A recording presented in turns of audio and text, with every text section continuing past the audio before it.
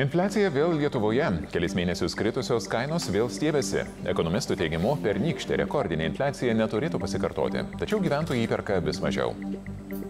Perkamoji gale ženkliai sumažėjo. Nepamirškim to, kad per pernai metus kainos 20 procentų paaugo. Streikui besiruošiantys mokytojai prie vyriausybės žada renkti pilietiškumo pamokas. Kiti tęsia darybas ir streiko skelbti neketina. Augant migrantų srautams, vidurio Europos šalis griežtina pasienio kontrolę. Įtampa auga tarp Vokietijos ir Lenkijos. Vizų skandalas dabar vykstantis Lenkijoje prašosi paaiškinimo. Pirmiausia, nereikia kištis į Lenkijos reikalus. Kone pusė Kalnų Karabacho gyventojų jau tapo pabėgėliais.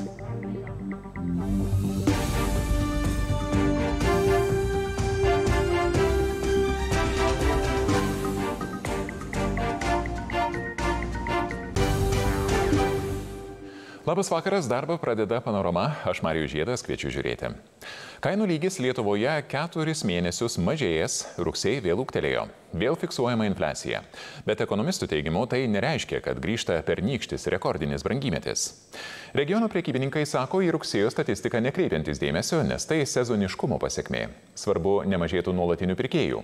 ISM rektorius sako, kol kas akivaizdu, kad žmonės įperka daug mažiau nei pernai, o stabiliausias reiškinys Lietuvoje akcijos ir nuolaidos.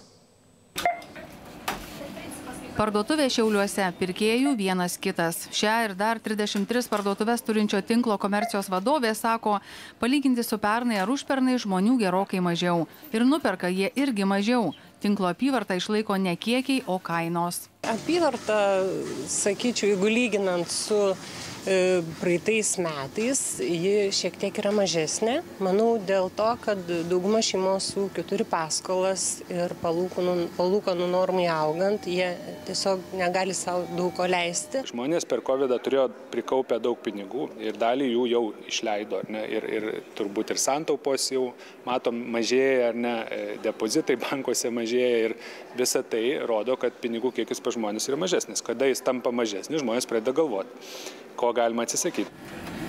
Statistika rodo, mažmeninė prekyba Lietuvoje toliau traukėsi, tik tempas sumažėjo, o kavinių ir restoranų apyvartos susitraukimo tempas priešingai paspartėjo. Vadinasi, užuot valgę kur nors, žmonės vėl daugiau gamina namie iš nusipirktų produktų. Tačiau po keturių mėnesių bendro kainų lygio mažėjimo rugsėjo staigmena. Lietuvoje vėl infliacija. Mėnesio 70 procento, metinė 4 procentų. Regionų prekybininkai sako, kainų nekėlė nei šį, nei praeitą mėnesį. Visos stabilios, išskyrus kai kurių atpigusių prekių. Kai kurių pieno produktų kaina dabar yra tokia pat, kokia buvo prieš tris metus. Ypatingai šiuo metu, bet nuo birželio pradžios, pradėjo kristi pieno kainos, e, mėsos gaminių šiek tiek kainos pakrito. 35 parduotuvių tinklą valdančio kooperatyvo Ukmergėje vadovė sako, kainų ūktelėjimą lėmė sezoniškumas, brango vaisiai, daržovės, pakilo naftos kaina, o dėl to ir degalų. Bet energetikos ir prekybos įmonėms vadovavęs Dalius Misiūnas sako, kol kas degalai didelės įtakos galutinėms kainoms nedaro ir apskritai pernykštė rekordinė infliacija neturėtų pasikartoti. Po pelningų metų prekybininkai turi rezervų kol kas e, nesakyčiau, kad yra daug prielaidų manyti, jo kainos gali aukti, ne, nes vis dėlto e, perkamoji gale ženkliai sumažėjo. Nepamirškim to, kad per pernai metus kainos 20 procentų paaugo. Pas kai kurios e, didmenininkus ten pilnai paaugo beveik dvigubai. Nu, tai suprantama, kad ko gero nedvigubai daugiau pardavė, o reiškia iš tų kainų augimo.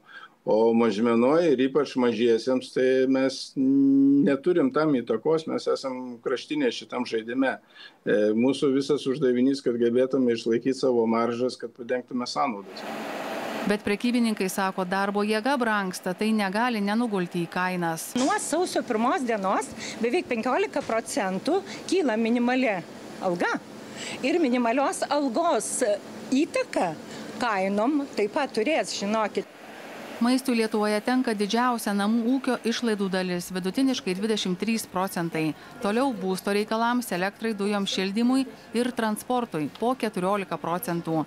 Kai pusė visų išlaidų tenka būtiniausioms reikmėms, nekintama lieka viena - akcijos ir nuolaidos. Čia yra kaip nu, bendras vardiklis, ar ne? Tu tiesiog turi tai daryti, jeigu nori, kad lietuviai pasteveitų. Šiltas oras mums yra pagalbininkas ir nu, ledų mes dabar parduodam dvigubai daugiau negu pernai tuo pačiu metu.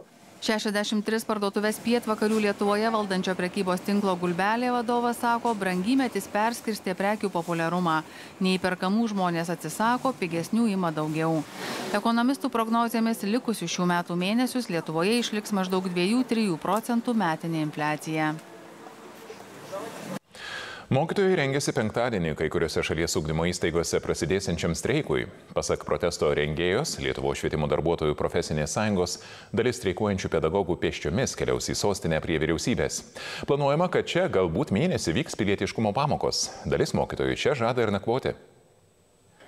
Klaipėdos Vidūno gimnazijos mokytoja Lilija Bručkienė jau ruošiasi streikui, o ruoštis yra kam. Mokytoja su dalimi kitų Klaipėdos pedagogų į Vilnių prie vyriausybės keliaus pešiomis. Aš labai tikiuosi, kad tai bus ne šiaip suėjimas, o tarkim tose vietose, kuriuose mes tosime nakviniai, kad galbūt pavyks susitikti su bendruomenė. Pedagogai ir juos palaikantys mokiniai pešiomis eis ir iš kitų miestų. Apsistoti nakvyniai planuojama ugdymo įstaigose. Turbūt sporto salėse, turbūt mėgmaišiuose. Na, mes po 18 metų ministerijos tai jau mokame mėgmaišiuose mėgoti 3 savaitės, tai tikiuosi ir čia netruks ilgiau. Streikuojantis mokytojai prie vyriausybės žada rengti pilietiškumo pamoką. Bus lenta, prie kurios atsakinėti kvies politikus, ekonomistus, politologus.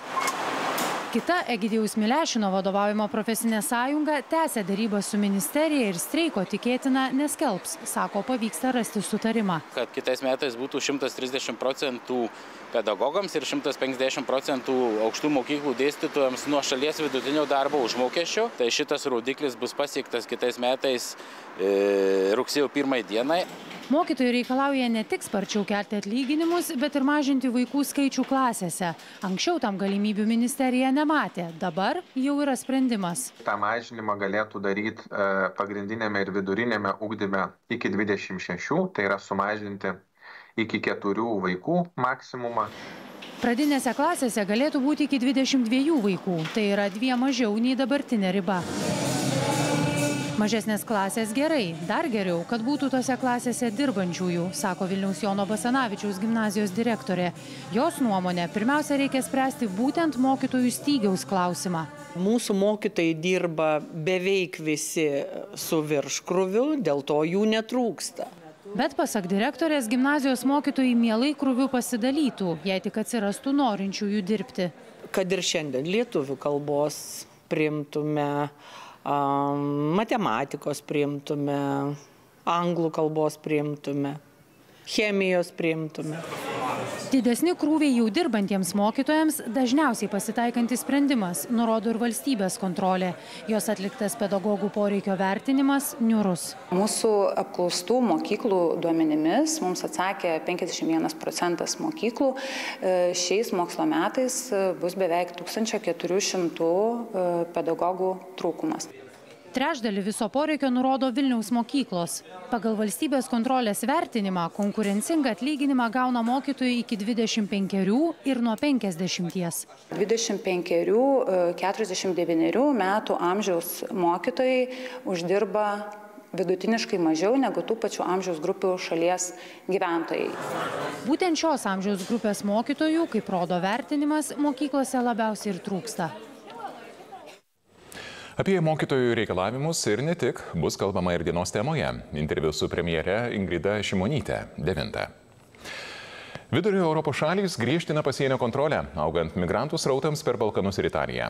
Vokietija paskelbė, kad siūs daugiau policijos į pasienį su Lenkija. Varšuva grasina tą patį daryti savo sienos pusėje, neva bijodama antplūdžio priešingą kryptimi. Artėjant rinkimams įtampa tarp kaiminių auga. Vokietijos policininkai į pasienį su Lenkija mobiliosioms patikroms. Berlynas sako, jų tikslas bus dar griežčiau kovoti su žmonių kontrabandos tinklais. Jie atsakingi už ketvirtadalį atvykstančių migrantų. Būtinai turime sustabdyti žiaurų žmonių kontrabandos verslą. Dėl maksimalaus pelno rizikuojama žmonių gyvybėmis. Vyriausybei auga spaudimas. Prieglopščio šiemet pasiprašė jau beveik tiek, kiek per visus pernykščius metus. Tenka atidaryti vis naujus prieimimo centrus. O po kelių savaičių prasidės rinkimai keliose žemėse, kur migracija didina kraštutinių dešiniųjų galimybės. Jie žada elgtis dar griežčiau. Kovojame, kad ES vidinės sienos galėtų likti atviros, bet mums reikia europinio sprendimo. Kitaip Šengeno zona atsidurs pavojuje. Berlynas sako, kad Lenkijos ir Čekijos siena bus saugoma panašiai kaip jau saugoma siena su Austrija. Bet Vokietija jau anksčiau pareiškė, kad papildomas pavojus iš Lenkijos Šengeno vizų išdavimo skandalas, kai pasirodė kaltinimų, esą jos atstovybės išdavė šimtus, o gal ir tūkstančius vizų užkyšius. Vizų skandalas dabar vykstantis Lenkijoje prašosi paaiškinimo. Nenoriu, kad Lenkija praleistų žmonės, o mums reikėtų ginčytis dėl savo prieglopščio politikos. Atvykstantieji į Lenkiją ten ir turi būti registruojami, perėti prieglopščio procesą ten. Jie neturi didinti problemos, dalydama vizas už pinigus.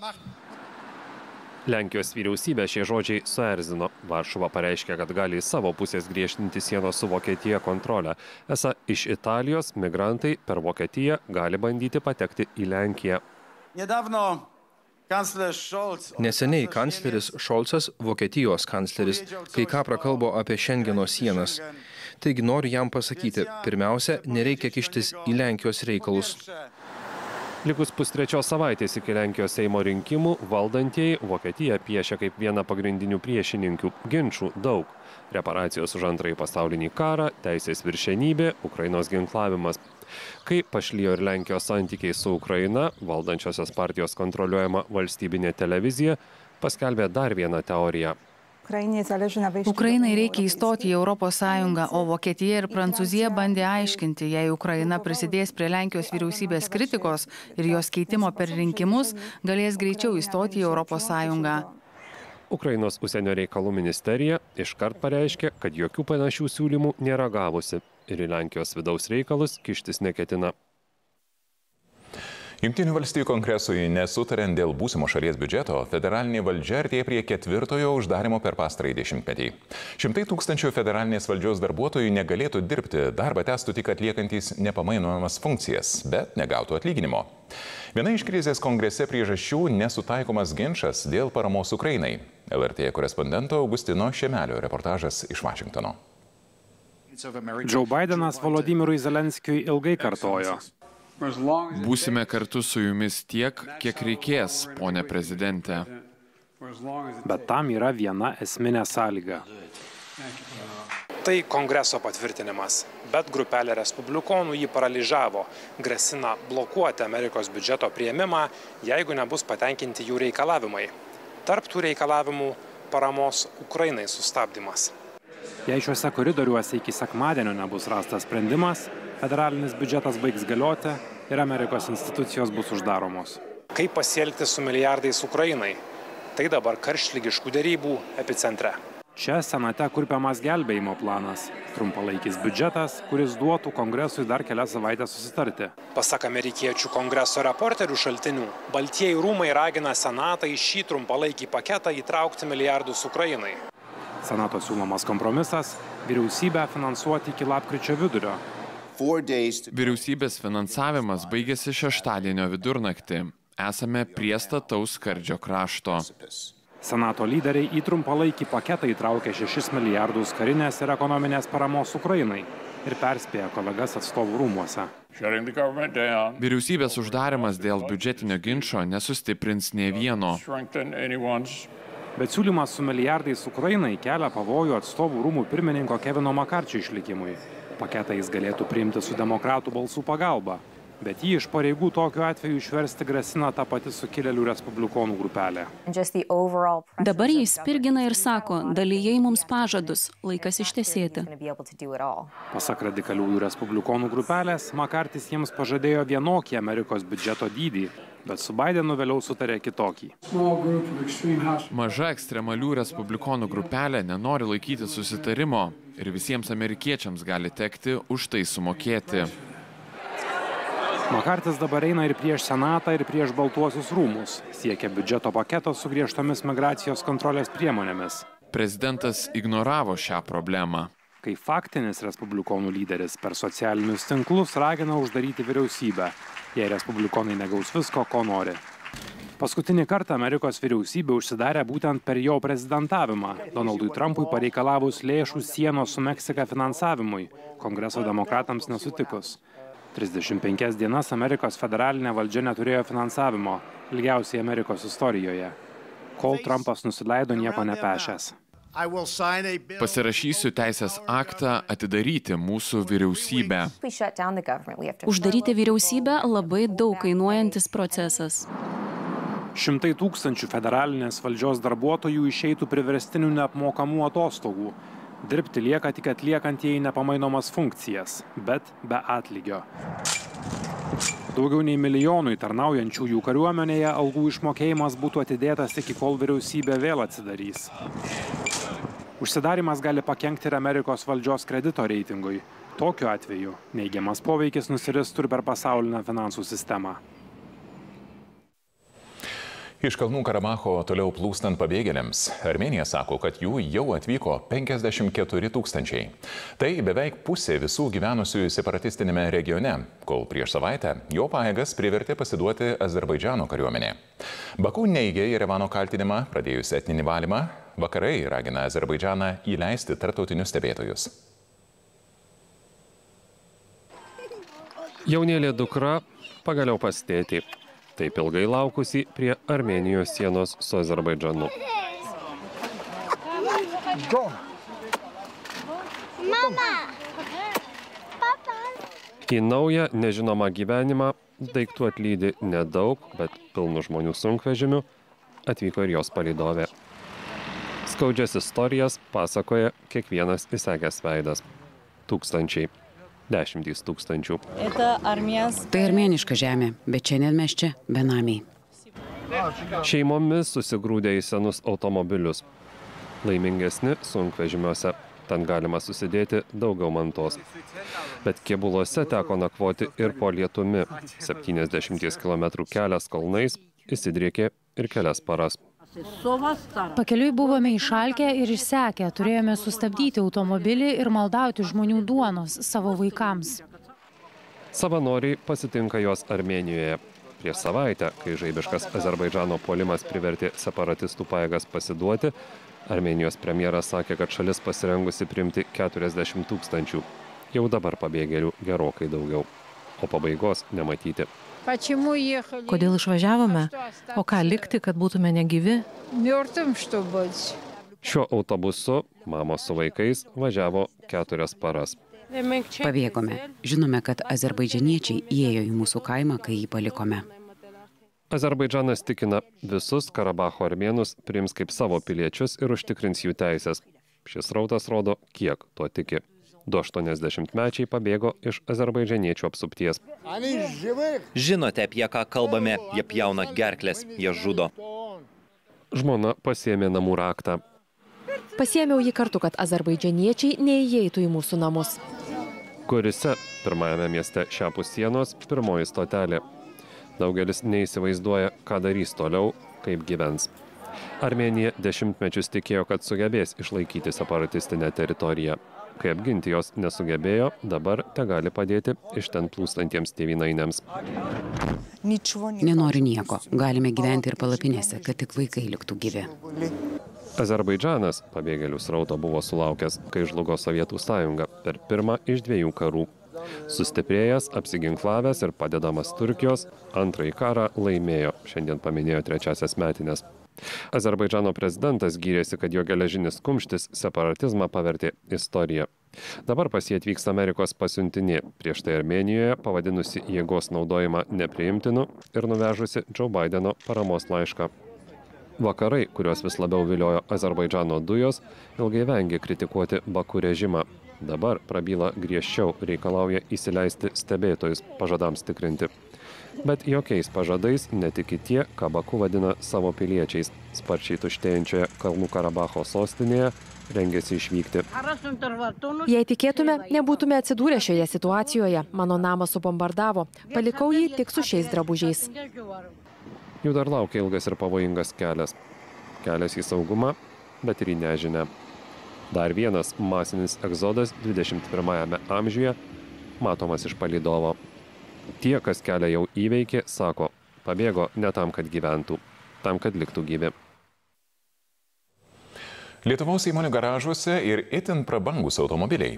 Tačiau darbuotojai per mėnesį gauna minimalią algą. Mokesčių inspekcijos teigimu tai verslo etikos ir socialinės atsakomybės klausimas. Be to, tūkstančiai įmonių vengia mokėti mokesčius, nors tarnybinius automobilius naudoja asmeniniais tikslais. Štai tokio Ferrari F430 kaina gerokai viršė 100 tūkstančių eurų. Šis, skirtas pramogai, automobilį nuomojančiai įmoniai generuoja pajamas.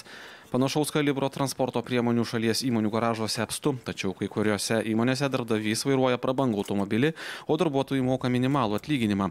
Susisiekų su dalimi tokių įmonių, jos nuo komentarų LRT susilaikė kad atlyginimai yra mažesni, labai maži atlyginimo prabangus automobiliai, tai yra verslo pasirinkimas, kokį jis nori verslą daryti, nes dažniausiai modernus verslas, jeigu, jeigu taiko investicijas į moder, modernes atsinaujinančias technologijas, kurią valstybė skatina, tai dažniausiai sudaro sąlygas ir mokėti didesnius atlyginimus. Finansų ministerijos duomenimis įmonių autoparkė maždaug 200 tūkstančių lengvųjų automobilių. Valstybinė mokesčių inspekcija pastebi, prabangus įmonių automobiliai neretai pasitarnauja ir verslininkų asmeninėms reikmėms, o už tai reikia mokėti mokesčius, tačiau verslas tą daryti neretai vengia. Matematika paprasta. Kuo didesnė automobilio vertė, tuo didesnė mokesčio dalis naudojant asmeninėms reikmėms. Tokiais atvejais visada yra pagal tam tikras tam tikrus teisės aktus yra skaičiuojamos pajamos natūra, jos yra apmokestinamos, na, apskaičiuojami atitinkami mokesčiai, kurie turi būti deklaruojami ir sumokami. Įmonių garažai prabangiais automobiliais pasipildė per pandemiją, kai valstybė verslams išmokėjo paramas.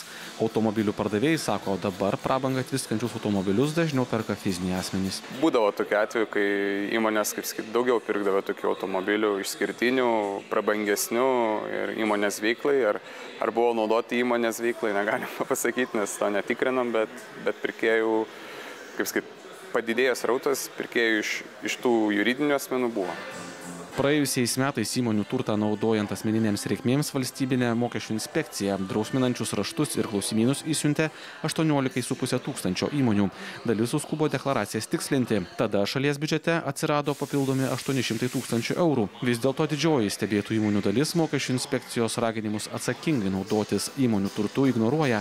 Inspekcija priversta imti seklio vaidmens. Mes turime duomenis, pavyzdžiui, kad konkretus automobilis, na, savaitgaliais švenčių dienomis, štai pavyzdžiui, vyko į kurortinės zonas, arba pavyzdžiui, jisai buvo paliktas oro uosto stovėjimo aikštelėje, kai tuo metu sužinome, kad darbuotojas buvo išvykęs atostogų.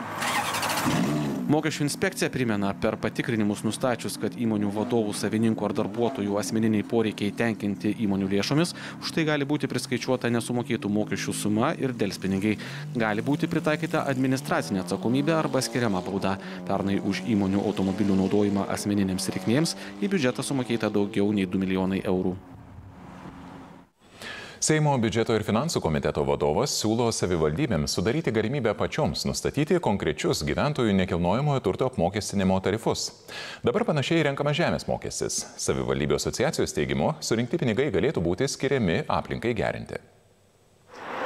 Merai kelis mėnesius diskutavo, koks galėtų būti nekilnojamojo turto mokesčio tarifas. Savivalda nori pati apsispręsti, tik vis dar ieško sutarimo, kur jį galėtų panaudoti. Tai jeigu mes pasakom, kad mokestis bus, bus ir simbolinis, galbūt bus ir didesnis, jau nekalbu apie konkretiką, bet mes jį investuosim į aplinką, į nekilnojamo turto, sakykime, pagerinimą, tai gal, kaip sakyt, tas skausmas dėl mokesčio atsiradimo bus mažesnis. Seime aptartas ir finansų ministerijos ir biudžeto komiteto vadovo siūlymas. Mindaugas Lingė siūlo vadovautis žemės mokesčio analogija, kai mokestis renkamas į savivaldybių biudžetus. Praktiškai nebegalės lyginti, kad, na, akmeniai būstas bus apmokestintas, o toks panašus tokios vertės Vilniuje jau nebus apmokestintas. Antrajam gyvenamajam būstui, matyti, savivaldybės nusistatinėtų didesnius tarifus, bet į kokius dydžius jau jos spręstų savarankiškai orientuotis. Akmenės rajono meras teigia, laikai, kai rajone buvo pigiausi būtai jau baigėsi, todėl iš būsimo mokesčio tikisi surinkti keli šimtus tūkstančių eurų, kuriuos galėtų panaudoti aplinkai gerinti. Vis dėlto mokestis nėra tobulas, sako meras, bet gerai, kad atsiras. Gal centriniai dalyje jisai turi būti šiek tiek didesnis mokestis, išoriai mažesnis, kaimuose visai kitoks. Socialinius dalykus įspręs savivalda irgi visada arčiau žmogaus ir mato, ar šiandien tas žmogus gali mokėti, negali. Pasak Šiaulių mero, mokestis turi būti visuotinis. Jo žodžiais šį klausimą turi spręsti ne kiekviena savivaldybė atskirai, mokestis visiems turi būti apibrėžtas vienodai įstatymu turi būti skaičiuojama šeimos turtas arba žmogaus turtas ir pasakoma, kokiu dydžiu tas turtas yra apmokestintas. Viskas. Dabar yra nuleista į savivaldą, pridaryta visokių rėžių ant rėžių, kitaip tariant, betvarkė. Šiaulių merui neprimtinas ir siūlymas surinktus pinigus už nekilnojamą į turtą palikti savivaldybėje, kuri pati apsispręstų, kam juos naudoti kai kurios savivaldybės, jeigu kalbam apie turtą, tikrai yra visiškai menkutės palyginus su Vilniumi arba su Kaunu.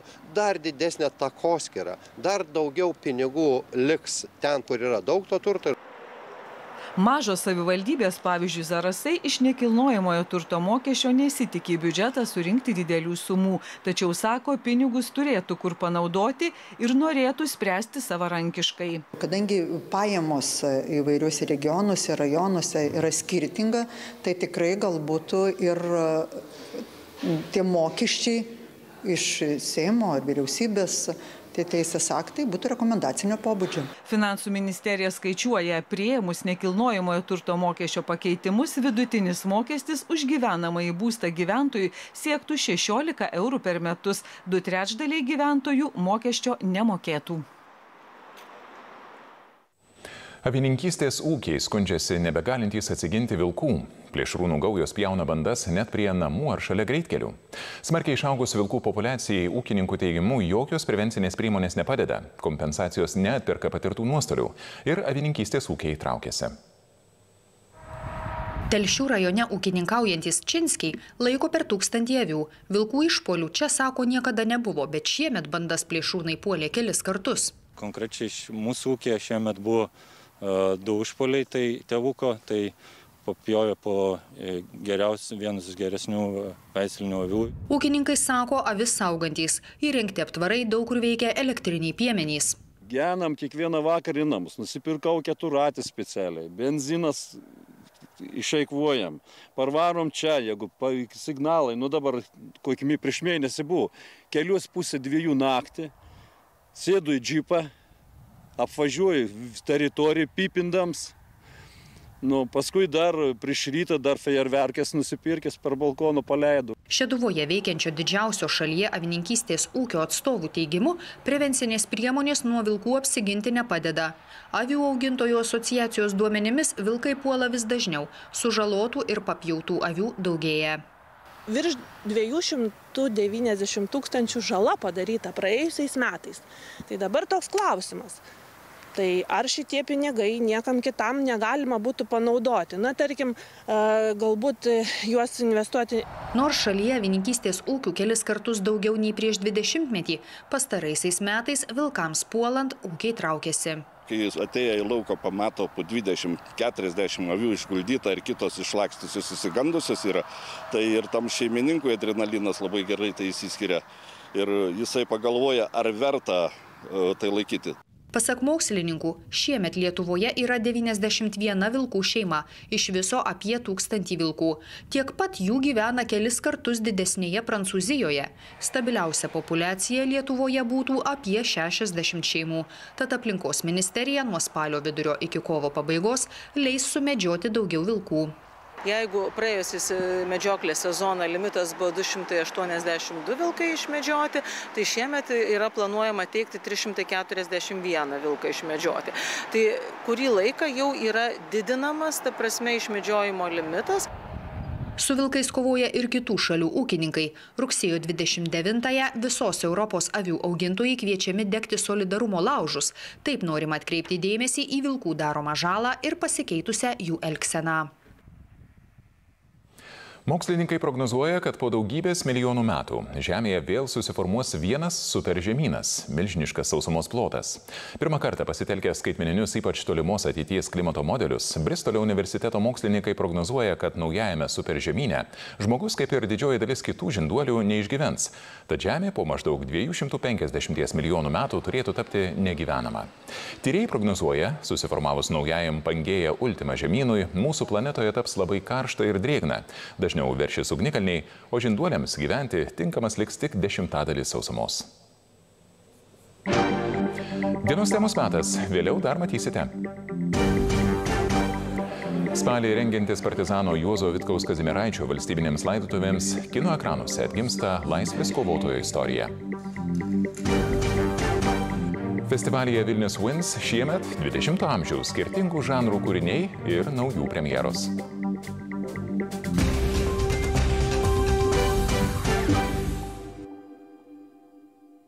Sveiki, šį vakarą dienos tema iš vyriausybės ir sveikinuosi su viešne arba mes svečiuose pas ją premjerė Ingrida Šimonytė. Ačiū, kad priemėt. Sveiki. Premjerė, jūsų kandidatūrą daugiausiai siūlo partijos skyriai į prezidentus. Ar jūs jau galite šiandien patvirtinti, kad jūs dalyvausite lapkritį vyksiančiuose vidiniuose partijos rinkimuose? Ne, negaliu, nes ką tik baigėsi kandidatų kelimas, baigėsi praėjusios savaitės pabaigoje, dabar Kiek žinau, prezidiumas nustatys terminą, per kurį visi kandidatai turėtų savo nuomonę pasakyti. Tai aš kaip ir žadėjau, pasakysiu visiems vienu metu, e, tam, kad nebūtų taip, kad kažkam pirmam pasakiau, kažkas paskui sužinojo ir ten tokiais atvejais paprastai būna tokių galbūt kažkokių įtampų ir pykčių, tai tikrai pranešiu ir prezidiumui, ir visuomeniai, ir tam, kam įdomu vienu metu. Kas lems jūsų sprendimą? Mano sprendimas. Mano sprendimas. Aš visą laiką, aš negaliu apibriežti kažkokio vieno labai konkretaus parametro, kuris man čia būtų kažkaip išskirtinai svarbus, nes taip didelis pasitikėjimas, ačiū tikrai daug, daug, daug partiečių matė reikalą mano kandidatūrą iškelti ir tai yra svarbu, nes tiesiog, tiesiog matai, kad, kad turi atramą bendruomenėje, kuri tavim tiki.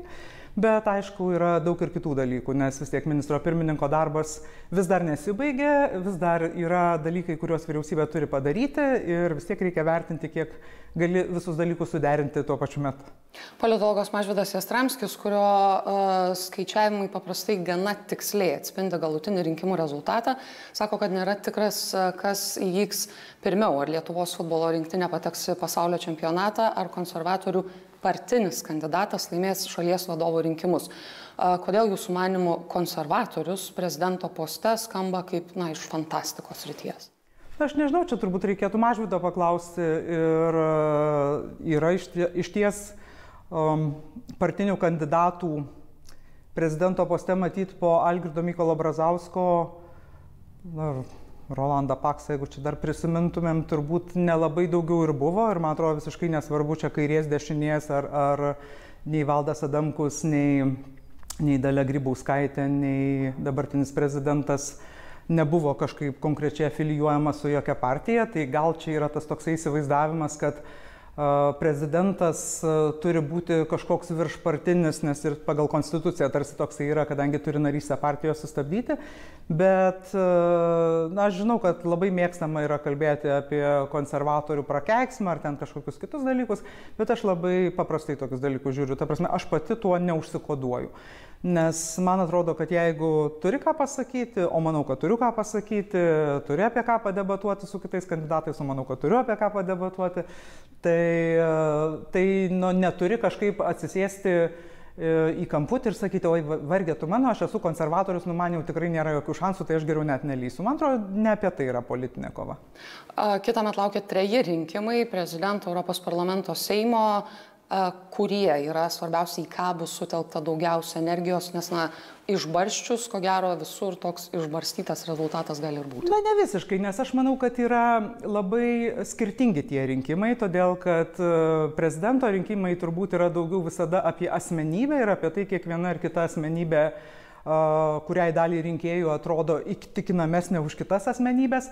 Europos parlamento rinkimai yra labai svarbus ES krypties prasme. Ir čia mes turim labai stiprią komandą, įskaitant ir tuos žmonės, kurie jau dabar dirba Europos parlamente ir, man atrodo, yra labai aktyvūs, tikrai nemiega ir tikrai puikiai kalba angliškai ir, ir dalyvauja tarptautinėje politikoje ir europinėje politikoje taip, kad matosi ir, ir manau, kad turi ką pasiūlyti darbo atveikė. Aš labai tikiuosi, kad Europos liaudės partija pasirodys stipriai, o mes esame tos partijos sudėtinė dalis, pasirodys stipriai, formuos būsimą komisiją, nuo to priklauso vėlgi, kokia bus ES, kokia, bu, kokia jos bus laikysena tarkim, esminių išbandymų klausimais, tos pačios Ukrainos ir, ir, ir, ir, ir visais kitais. Tai čia manau, kad mes tikrai turim žmonių, na, ant kurių autoriteto galima labai aiškiai statyti tą būsimą kampaniją.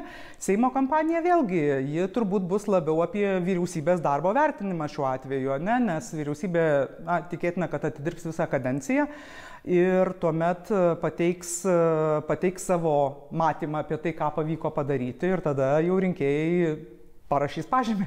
Šita Seimo rinkimų kampanija jau yra juntama per gilėjančią takoskirą tarp partnerių ir natūralu, nes ruošiasi ketverių metų ciklui ir tą rodo mokesčių reforma.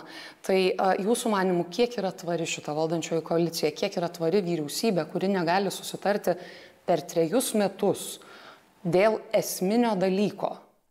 Na, žiūrėkit, aš nesutinku, kad vyriausybė nesusitarė, vyriausybė pateikė projektus Seimui, Pateikti tuos projektus žinoma, kad užtruko laiko, todėl kad buvo daug diskusijų, projektai, kurie yra parengti, jie parengti remiantis ekonominio bendradarbiavimo plėtros organizacijos pasiūlymais, tai reiškia, neatsisėdo ten viena ar kita partija ar viena ar kita ministrė ir kažko nesugalvojo, ta prasme, tai yra ekspertai, kurie tikrai nėra šališki Lietuvos atžvilgių, neturi kažkokių ten asmeninių tikslų ar asmeninių interesų.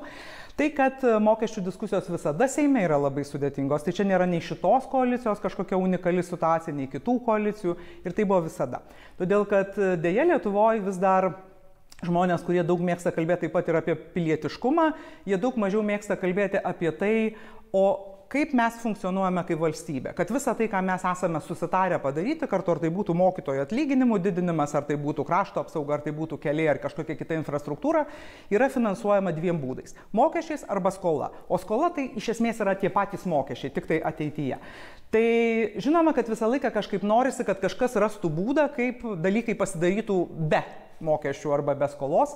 Ir mes tą privilegiją turim, būdami valstybė, kuri gauna nemažai ES paramos ir ES paramą. Mes tikrai daug reformų įvykdėm ir labai daug dalykų padarėm puikių Lietuvoje, bet kuo toliau, kuo Lietuva darosi turtingesnė, Lietuva darosi turtingesnė, nepaisant to, kas kartais kam atrodo, tuo daugiau mes vis dėlto turime pradėti, na, patys save išlaikyti. Ir tam, tam reikia kalbėti apie mokesčius. Ta kalba nėra labai patogi, nėra labai maloni, bet man atrodo, kad čia yra toks, na, aš, aš suprantu klausimo potekstę, bet lygiai taip pat klausimas yra keliamas dėl partnerystės, kur mes turime žmonės, tarkim, savo bendruomenėje, kurie nepritarė e, partnerystės įteisinimui.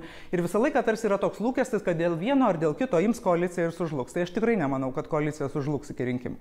Ne apie sužlugimą galbūt eina kalba, bet ar jūs pati savo esate atsakiusi į klausimą, kas yra tie ideologiniai, programiniai kažkokie klyjei, kurie laiko šitą valdančiojo koaliciją kartu jeigu koalicija nesutaria ne tik ekonominiais fiskaliniais klausimais ta pati mokesčių reforma bet ir jūsų paminėtos partnerystės klausimų kas yra na socialiniai kultūriniai klausimai to sutarimo nėra. Jo, bet žiūrėkit, jūs iš, paėmėt du klausimus ir sakot, sutarimo nėra. Bet jie esminiai. Uh, jie yra esminiai daliai žmonių, bet jie yra galbūt mažiau svarbus kitai daliai žmonių. Žmonės, kurie galvoja, kad valstybė na, viešasias paslaugas užtikrina iš šventosios dvasios, jie mokesčių klausimai iš viso yra neįdomus, todėl kad na, visą laiką tarsi tas e, ir viešas naratyvas, kad e, mokesčių turi būti kuo mažiau, nes tai yra labai gerai ekonomikai, tai labai gerai verslui, labai gerai konkurencingumui, nors konkurencingam verslui reikia išslavinusių darbuotojų, reikia puikios infrastruktūros, reikia geros veikatos apsaugos ir taip toliau ir panašiai, ir visa tai yra padaroma už mokesčius, nu, tai mes dabar mokame kainą už tokį belen kokią uh, ekonominę diskusiją, kuri Lietuvoje tęsiasi dėja per ilgai. Dėl uh, kai kurių žmogaus teisų klausimų, tai vėlgi Mūsų bendruomenė, Tėvynės sąjungoje, jūs puikiai žinote, kad mes esame sutarę nesutarti. Tai yra dalykas, kurio mes neturime savo programoje, skirtingai nuo kai kurių kitų partijų, kurios tai turi savo programoje. Ir todėl natūralu, kad niekas neprivers mano kolegų, kurie tam nepritarė, balsuoti už įstatymų projektus. Ir čia jau yra šioks toks skirtumas nuo mokesčių, kadangi mokesčių pakeitimai šiaip jau yra numatyti vyriausybės programoje, bet dabar turim tokią diskusiją, kokią turim. Bet e, aš nesakau, kad tų įstatymų neįmanoma priimti.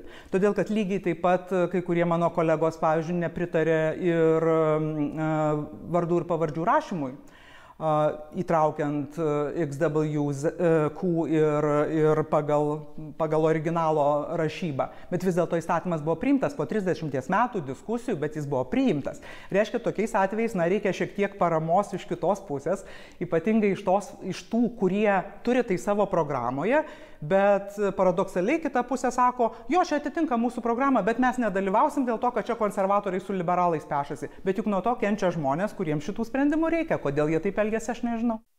Švietimas buvo jūsų programinis prioritetas ir kaip jūs vertinate, kad na, pavasarį, vasaros pradžioje profesinės sąjungos neindikavo apie streikus, o dabar ta situacija yra kardinaliai pasikeitus? Turbūt šiek tiek yra susiję ir su būsimais rinkimais ir bandymu kažkaip šitam laikotarpyje maksimizuoti savo, savo reikalavimus. Tai man atrodo, kad e, tos profesinės sąjungos, kurios šitą klausimą kelia labai aršiai, šiaip daro tą be reikalo, todėl kad e, ką vyriausybė yra įsipareigojusi yra labai aišku. Tas yra ir nacionalinėme susitarime, ir vyriausybės programoje. Tai yra mes kalbame apie 130 procentų vidutinio mokytojo darbo užmokesčio lyginant su šalies vidurkiu ir nors nacionalinėme susitarime numatyta tai pasiekti metų pabaigoje, bet mes, na, nenorėdami numesti problemos tiesiog kitai vyriausybei, matome savo atsakomybę ir tikrai norime tai pasiekti rugsėjo mėnesį.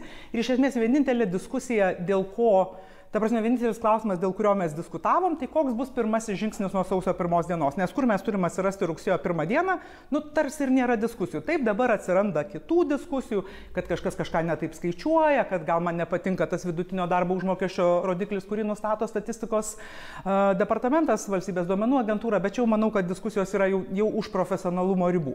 Tai tarsi taip uh, radikaliai to klausimo kelti nebuvo jokio reikalo. Nuo pat metų pradžios sakėm, kad savo įsipareigojimus įsipareigojimus vykdysim. Tik tai galim tartis, koks yra pirmas žingsnis nuo sausio pirmos dienos. Vyriausybės siūlymas buvo pagal vidutinio darbo užmokesčio prognozę. Profesinių sąjungų, bent jau tų, kurios yra linkusios ieškoti sutarimo, buvo, na, mm, dosnesnis, radikalesnis, ne, bet mes vis tiek turime vertinti, kokį deficitą valstybė gali turėti kitais metais, kiek reikia lėšų skirti dalykam, kurie yra įstatymų nulemti, kur nebe vyriausybė sprendžia, o kur, pavyzdžiui, pensijų indeksavimas, socialinių išmokų indeksavimas, kur yra įstatymė parašyti dydžiai, kuriais mes privalome indeksuoti e, kažką ateinančiais metais. Ir tai yra tiesiog, tu tiesiog sudedi tuos skaičius į biudžetą ir jau nebėra labai ką diskutuoti. Čia yra diskrecinė vis dar priemonė, bet man atrodo, kad tas, e, tas rezultatas, kuris pasiektas buvo e, diskutuojant, kad tai yra 10 procentų darbo užmokesčio didinimo nuo sausio pirmos ir likęs didinimas nuo rugsėjo pirmos tam, kad tie santykiai 130-150 būtų rugsėjo mėnesį pasiekti, man atrodo, tai yra tikrai puikus rezultatas. Dar vienas paskutinis klausimas. Medikai, kurie masiškai palieka įvairiausias gydymo įstaigas, ar jūs turite savo atsakius į klausimą, kodėl taip vyksta? Yra daug priežasčių ir labai dažnai yra sakoma arba bandoma teikti, ypatingai oponentai mėgsta teikti, kad čia yra todėl, kad vyksta kažkokia reforma. Ir štai todėl medikai išėjo ten iš Zarasų ligoninės ar kažkur. Paskui laikui einant mes išgirstam vis daugiau istorijų apie tai, kas tose konkrečiose gydymo įstaigose Raseinių ligoninėje, Zarasų ligoninėje vyko. Ir akivaizdu, kad, kad tų priežasčių yra labai daug ir labai skirtingų. Mediko darbas yra labai sudėtingas, labai atsakingas, įtampa yra labai didelė ir atsakomybė už kito žmogaus e, gyvybę visą laiką yra nu, toks e, smarkiai, smarkiai matyt, kad e, emocinę sveikatą veikiantis dalykas. Tai tų priežasčių yra matyti visur visokių. Bet lygiai taip pat kaip ir, kaip ir pedagogo atveju, lygiai taip pat kaip ir kitų uh, viešojo sektoriaus darbuotojų atveju, na, man atrodo, tikrai niekas negalėtų apkaltinti šitos vyriausybės dėmesio stoka būtent viešojo sektoriaus darbuotojams. Ir tai buvo ir praėjusiais metais, ir šiais metais, ir ateinančiais metais. Dėkui premjerė, kad mus priemėt ir dėkui už pokalbį. Mes grįžtame į panoramą.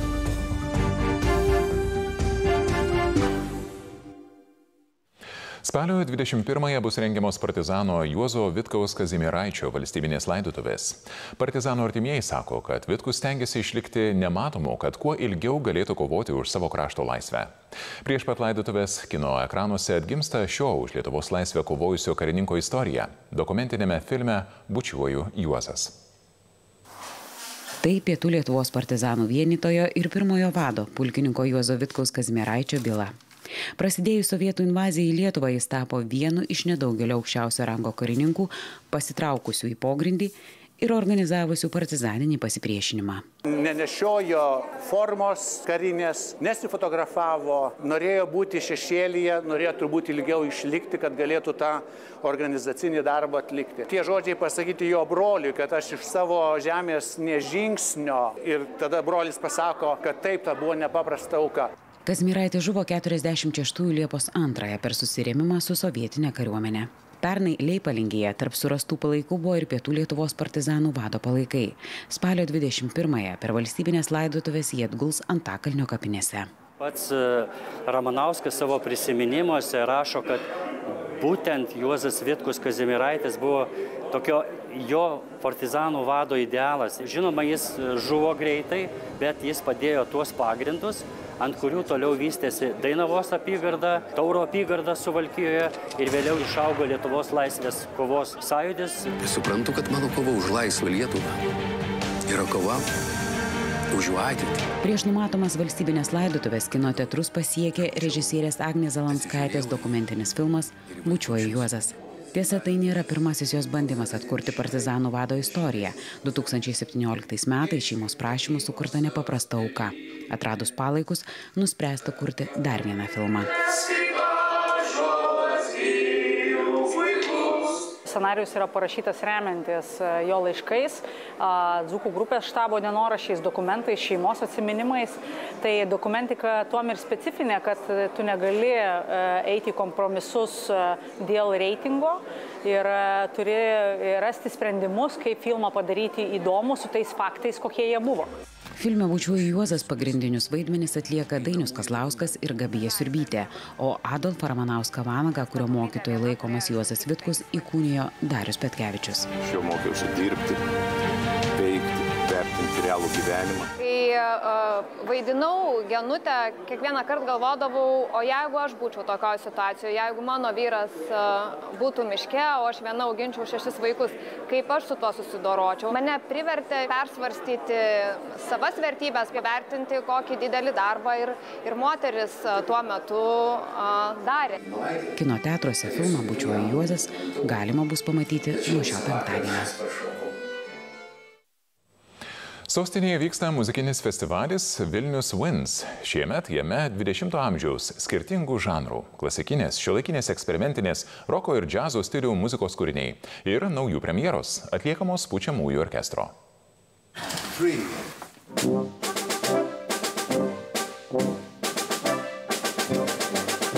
Gerai žinomas kompozitoriaus Moriso Ravelio bolero vienas iš penkių kūrinių nuskambėsiančių festivalio Vilnius Wins koncerte. Tačiau jis skambės kitaip. Lietuvos simfoninio pučiamųjų orkestro meno vadovas ir dirigentas Leifas Karlsonas sako, orkestras atliks kompozitoriaus Filipo Sparko sukurtą aranžuotę, papildytą mušamaisiais instrumentais. Tad kūrinys ir pavadintas Bolero. The, the plus is that we have Pliuso reikšmė šešios perkusininkų solo partijos, kurias atliks galingasis Günther Percussion ansamblis iš Lietuvos ir du perkusininkai iš Latvijos. Bolero plus išskirtinumas - perkusininkai įsilies į bendrą muzikinį atlikimą, o būgnų kuriamas ritmas kūrinio pabaigoje nuskambės taip, kad nuneš koncertų salės stogą. Bus gražu ir stipru. Vienas festivalio tikslų pristatyti kūrinių premjeras, viena tokių Lino Rupšlaukio kūrinys The Uncertainty of Forgetting. O švedo Larsono Geotes virtuoziška tokata Makinarija nuoroda ir į festivalio koncerto pavadinimą ir pagrindinis koncerto kūrinys. Kūrinio pavadinimas skamba kaip motoras, mechanizmas ir orkestras išgauna visus garsus. Prisideda šeši perkusininkai, solistai ir skirtingi instrumentai. Publikai tai bus palaimo, o viską pabaigsime Bolero plus kūriniu. Festivalio Vilnius Wins akcentas - klasikinės, šiuolaikinės eksperimentinės roko ir džiazo stilių muzika ir jų junginys. Organizatoriai sako, antrą kartą rengiamame festivalyje siekia atskleisti, kas būdinga konkrečiam muzikiniam žanrui. Pirmiausia, mes koncentruojamės į patį žanro specifiką, kad jinai simfonijos pučiamųjų kaip po toks žanras apima labai platų spektrą, tai ir dažniausiai susijęs su 20-ojo amžiaus repertuaru.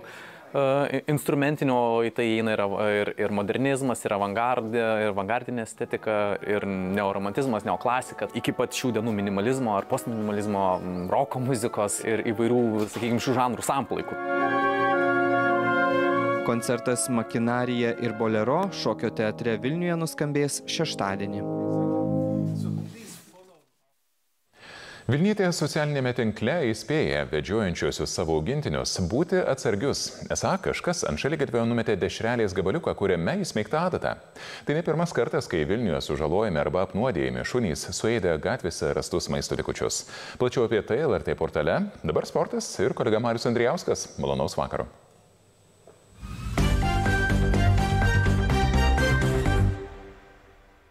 Labas vakaras. Europos